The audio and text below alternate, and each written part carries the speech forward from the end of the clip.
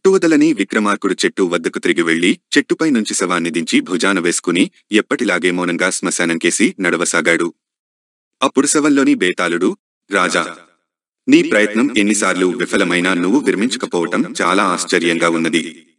అదృష్టం అందలమెక్కించిన ఆ అదృష్టానికి స్వస్తి చెప్పి అడవులు పట్టిపోయేవాళ్ళున్నారు అందుకు నిదర్శనంగా నీకు ధనగుప్తుడి వింత కథ చెబుతాను శ్రమ తెలియకుండా విను అంటూ ఇలా చెప్పసాగాడు.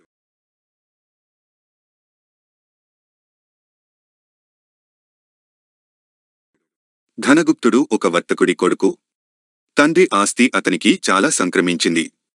అయితే అతనికి భోగభాగ్యాలు రెంటిమీదా సమానమైన ప్రీతి. వర్తకంతో భాగ్యం వస్తుందిగాని భోగాలు అనుభవించటానికి ఎక్కువ వ్యవధి ఉండదు. అంతకన్న జూదంలో డబ్బు సంపాదించడం అభయతారకంగా ఉంటుందని భ్రమపడి ధనగుప్తుడు జూదం ప్రారంభించి అప్పుడప్పుడు గెలవటం చేత మరింత ఉత్సాహంతో భారీ ఎత్తున జూదంలోకి దిగి అకస్మాత్తుగా ఉన్నదంతా పోగొట్టుకుని క్షణంలో బికారిగా మిగిలిపోయాడు. ఆ దెబ్బతో ధనగుప్తుడికి జీవితం మీద రోత పుట్టింది. అందుచేత అతను క్రూర మూగాలను కూడా లక్ష్యపెట్టకుండా అరణ్యంలో నివాసం ఏర్పాటు చేసుకున్నాడు. త్వరలోనే అతను జుట్టు జడలు కట్టి గడ్డాలు మీసాలు పెరిగి పిచ్చివాడిలాగా తయారయ్యాడు. అరణ్యంలో ధనగుప్తుడు ఉంటున్న ప్రాంతానికి కొంత దూరంలో ఒక కోయ గూడెం ఉన్నది. ఆ ప్రాంతాల ఆ ఏడు వర్షం పడకపోవటంతో కోయలు తమ అవసరాల కోసం అరణ్యంలో దూర ప్రాంతాలకు కూడా తిరగవలసి వచ్చింది. ఆ విధంగా వాళ్ళు ధనగుప్తుణ్ణి చూడటం తటస్థించింది.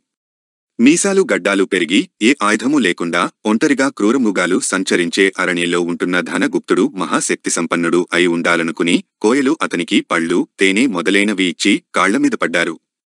ఏం కావాలి మీకు? అని ధనగుప్తుడు కోయలను అడిగాడు. మీరు వచ్చి మా గూడెంలో ఉంటే మిమ్మల్ని కనిపెట్టి ఉంటా. మాకు కలిసి వస్తుంది అన్నారు కోయలు. మారు మాటాడకుండా ధనగుప్తుడు లేచి కోయల వెంట వాళ్ళ గూడానికి వెళ్ళాడు అతను గూడెంలో అడుగు పెట్టుతుండగానే వర్షం ఆరంభమై కుంభవృష్టి కురిసింది. కోయలకు ధనగుప్తుడి మహత్యంలో పూర్తిగా గురి ఏర్పడింది. అది మొదలు కోయల జీవితం మూడు పువ్వులు ఆరు కాయలు అయింది. దానికి ముఖ్య కారణం వర్షం పడటమే అయినా కోయలు ధనగుప్తుడి మహిమ వల్లనే ఇది జరిగిందనుకున్నారు. ఈ సమయంలో ఆ దేశపు రాజు కోయలు ఇటీవల మరీ విజృంభించుతున్నట్టు విని వారిని శిక్షించటానికి సేనను పంపాడు. తమకు అండగా ఒక మహాత్ముడున్నాడన్న ధైర్యంతో కోయలు సాహసంతో పోరాడి సుశిక్షితులైన రాజుగారి సైన్యాన్ని చుట్టుముట్టి చావ చితకగొట్టేశారు. రాజు ఆశ్చర్యపడి కోయలకింత పౌరుషము బలము రావటానికి కారణం ఏమిటో తెలుసుకు రమ్మని చారులను పంపాడు. వాళ్ళు వచ్చి చూసేసరికి కోయలు ధనగుప్తుణ్ణి పూజించి అతని చుట్టూ నృత్యం చేస్తూ పాటలు పాడుతున్నారు. చారులు ఈ మాట చెప్పగానే రాజు కూడా ధనగుప్తుడి మహత్తు నమ్మి అలాంటి వాడి వల్ల కోయలకు లభించటం కన్న తనకు లభించటం ఉచితంగా ఉంటుందనుకుని అతనికి రహస్యంగా ఆహ్వానం పంపాడు. కోయల ప్రాపకమే ఎంతో ఆనందదాయకంగా ఉన్నప్పుడు రాజుగారి ప్రాపకం ఇంకా బాగుంటుందన్న నమ్మకంతో ధనగుప్తుడు కోయలకు తెలియకుండా ఒక అర్ధరాత్రి సమయంలో అరణ్యం నుంచి బయటపడి రాచనగర్ చేరుకున్నాడు. రాజు అతనికి ఎంతో మర్యాదలు చూపి అతని పేరు అడిగాడు. అనుభవానందస్వామి అని ధనగుప్తుడు చెప్పాడు.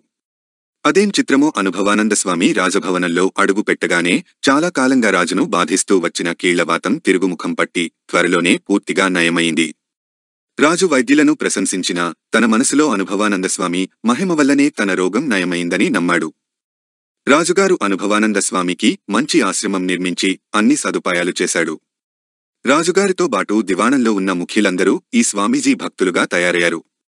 స్వామి చాలా కొద్దిగా మాట్లాడేవాడు. కాకతాళీయంగా అతని నోటిమాటలు చాలా వరకు నిజమయ్యేవి. అతని వాక్శుద్ధి మీద అందరికీ గురుకుదిరింది. ఇలా ఉండగా ఒకరోజు రాజు అతని వద్దకు వచ్చి తాను పొరుగుదేశం మీద దండయాత్రకు పోతున్నానని తనకు యుద్ధంలో విజయం కలిగేటట్టు ఆశీర్వదించమని కోరాడు.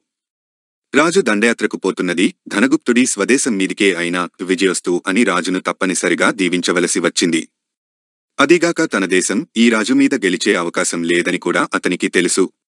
అతను అనుకున్నట్టే రాజు యుద్ధంలో గెలిచి తిరిగి వచ్చాడు. అతను అనుభవానంద స్వామికి పెద్ద ఎత్తున పూజలు సన్మానాలు చేద్దామనుకున్నాడు. కాని ఆయన తీరా వెళ్ళి చూస్తే ఆశ్రమం ఖాళీగా ఉంది. అనుభవానంద స్వామి జాడ ఎవరికీ తెలియరాలేదు. స్వామీజీగా అతన్ని మళ్ళీ చూసినవారు లేరు. బేతాళుడు ఈ కథ చెప్పి రాజా కోయల కంటపడినప్పటి నుండి ధనగుప్తుడి దశ మారిపోయింది. జీవితం మీద కలిగిన విరక్తి కూడా తగ్గిపోయి జీవితంలో ఆనందం కలిగినట్టు కనబడుతుంది. అలాంటివాడు తాను ఉచ్చదశకు చేరుకుంటున్న సమయంలో మళ్ళీ జీవితానికి ఎందుకు దూరమయ్యాడు. తన ఆశీర్వచన ప్రభావం చేత తన స్వదేశానికి యుద్ధంలో అపజయం కలిగిందనా. లేక తన దేశాన్ని జయించిన వాడి చేత గౌరవం పొందడం ఇష్టం లేకనా? ఈ సందేహానికి సమాధానం తెలిసి కూడా చెప్పకపోయావో నీ తల పగిలిపోతుంది అన్నాడు.